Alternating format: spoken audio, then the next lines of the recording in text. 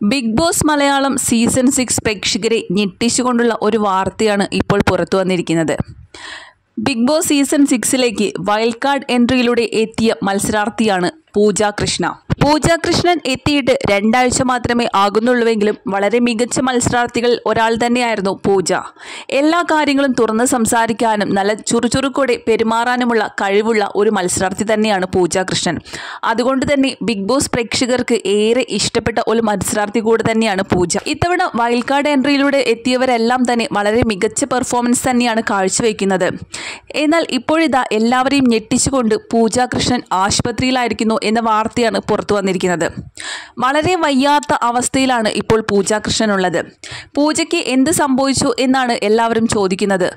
ഒട്ടും പൂജയ്ക്ക് അനങ്ങാൻ വയ്യാത്ത അവസ്ഥയാണെന്ന് പറഞ്ഞുകൊണ്ടായിരുന്നു ഋഷി ബിഗ് ബോസ് ക്യാമറയിലൂടെ പറഞ്ഞിരുന്നത്. പൂജയ്ക്ക് ഡിസ്കിന് കംപ്ലൈന്റ് ആണെന്നാണ് പുറത്തുവരുന്ന റിപ്പോർട്ടുകൾ. ഒട്ടും അനങ്ങാൻ പറ്റുന്നില്ല. ഒന്നും ചെയ്യാനാവാത്ത അവസ്ഥ. ഒരുപാട് പേർ ചേർന്ന് ബിഗ് ബോസ് വീട്ടിൽ നിന്നും സ്ട്രക്ചറിലാണ് പൂജയെ ഹോസ്പിറ്റലിലേക്ക് കൊണ്ടുപോയിരിക്കുന്നത്. ഇനി പൂജയ്ക്ക് രണ്ടാഴ്ചത്തേക്ക് വീട്ടിലേക്ക് തിരിച്ചു വരാൻ സാധിക്കില്ല. നല്ല ട്രീറ്റ്മെന്റ് ആവശ്യമാണ് ഇപ്പോൾ പൂജയ്ക്ക്. അതുകൊണ്ട് തന്നെ ഇനി പൂജ ബിഗ് ബോസ് വീട്ടിലേക്ക് തിരിച്ചു വരുമോ എന്ന് പോലും സംശയമാണെന്നാണ് ഇപ്പോൾ പുറത്തു വരുന്നത്.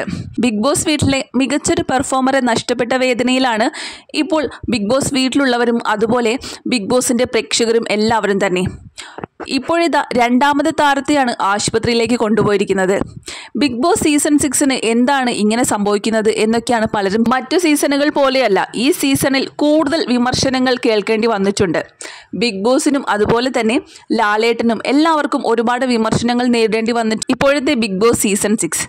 അതുമാത്രമല്ല ഒരുപാട് പേർക്ക് പരിക്കും മറ്റു ആശുപത്രി കേസുകളും എല്ലാം തന്നെ ഈ ഒരു സീസണിലാണ് വരുന്നത്.